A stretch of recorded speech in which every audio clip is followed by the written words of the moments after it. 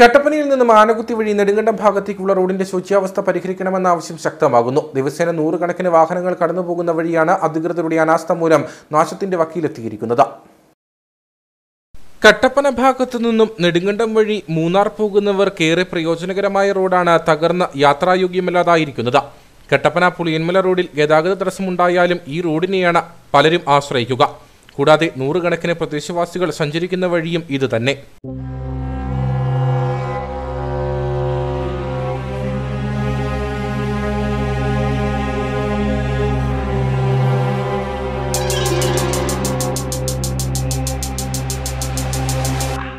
Tarring പൊളിഞ്ഞ് വഴിയിൽ ഉരുളൻ കല്ലുകൾ നിരന്നു കിടക്കുന്നത് മൂലം ഇരുചക്ര വാഹനങ്ങൾ നിരന്തരമായി അപകടത്തിൽപ്പെടുകയാണ്.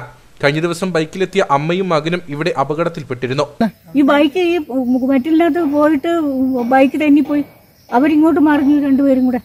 കള്ളയുടെ ഇവിടെ ഈ ഒരു വശം ഇടിച്ച് ചതവുമൊക്കെ ഉണ്ടായിരുന്നു. പിന്നെ വെള്ളമൊക്കെ കൊടുത്ത് ഞങ്ങൾ പറഞ്ഞു വിട്ടു. റോഡ് നിർമ്മാണത്തിനായി ഫണ്ട് അനുവദിച്ചിട്ടുണ്ടെന്ന ജനപ്രതിനിധികൾ ആവർത്തിച്ചു പറയുമ്പോഴും ഇതുവഴിയുള്ള രണ്ട് കിലോമീറ്റർ ദൂരം യാത്ര കൂടുതൽ ദുരിതപൂർണമാണ്. ഇപ്പൊ എന്നാന്ന് വെച്ച് കഴിഞ്ഞാൽ ഒരു എമർജൻസി സിറ്റുവേഷൻ ഒക്കെ ഹോസ്പിറ്റൽ കേസ് ഒക്കെ വരുവാണെങ്കിൽ ഓട്ടോ വിളിച്ചാൽ ഒന്നും ഓട്ടോക്കാർ വരത്തില്ല. കാരണം എന്നാന്ന് പറയുന്നത് ഈ റോഡിന്റെ അവസ്ഥ എങ്ങനെയാ പിന്നെ എങ്ങനെയാ ഓട്ടോ വിളിക്കുന്നത് അതുപോലെ തന്നെ ഞങ്ങൾ തിരിച്ചു വരാൻ വേണ്ടിയിട്ട് ഞങ്ങൾക്ക് എപ്പോഴും സ്വന്തം വണ്ടിയും കൊണ്ട് തന്നെ പോണ പോകാനും വരാനും ഒക്കെ ബുദ്ധിമുട്ടുണ്ട്. അപ്പത്തേന് ഞങ്ങൾക്ക് തിരിച്ചു വരണമെങ്കിൽ അവർ വെക്കുന്ന ഡിമാൻഡാണ്. അവർ ഈ വഴി കൂടെ വരത്തില്ല. ഒരു പത്ത് ഓട്ടോ വിളിച്ചു കഴിഞ്ഞാൽ ഒരു ഓട്ടോയെ ഇവിടെ കയറി വരത്തുള്ളൂ. അത് മാത്രമല്ല ഈ നൂറ്റമ്പത് രൂപ അല്ലെ ഇരുന്നൂറ്റി എഴുപത് രൂപ ചോദിക്കുന്നിടത്ത് ഇരുന്നൂറ് രൂപ ഇരുന്നൂറ്റമ്പത് രൂപ തരുവാണെങ്കിൽ വരാമെന്ന് പറയും.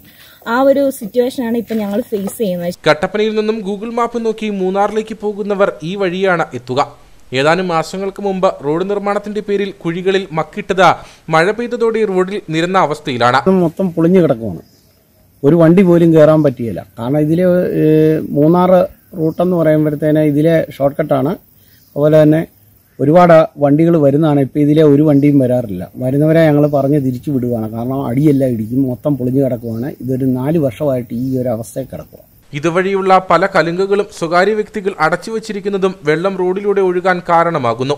അധികൃതരുടെ ഭാഗത്തു നിന്നും റോഡിനോടുള്ള അവഗണന അവസാനിപ്പിക്കണമെന്നാണ് ആവശ്യം.